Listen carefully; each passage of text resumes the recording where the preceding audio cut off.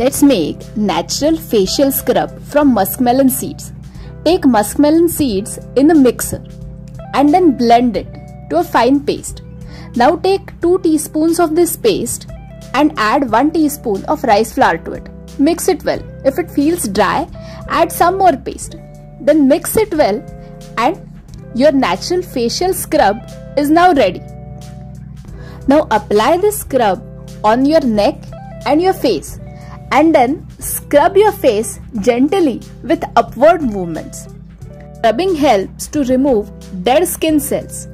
It also improves blood circulation in face and gives you a beautiful glow. To watch the full video on Muskmelon Home Facial, subscribe to the channel now.